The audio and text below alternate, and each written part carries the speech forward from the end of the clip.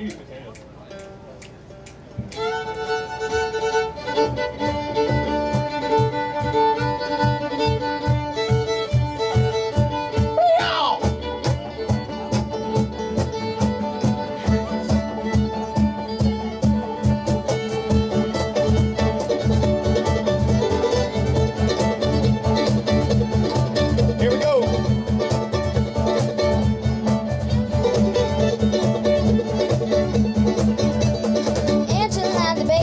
She lives on a village green.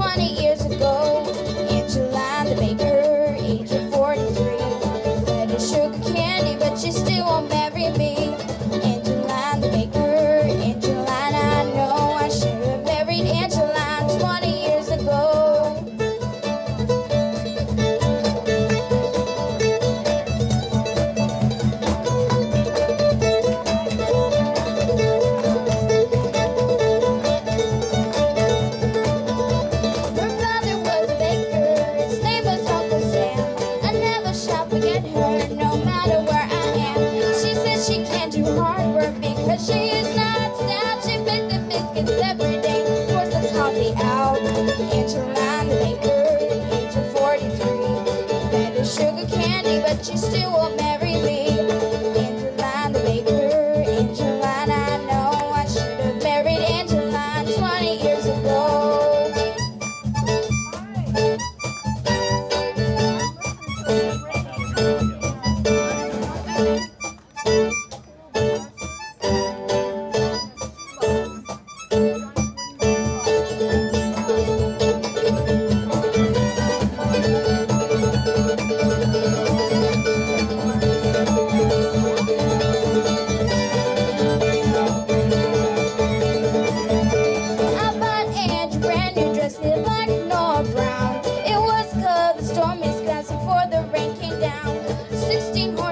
my team, the leader he was blind. I dreamed that I was dying. I saw my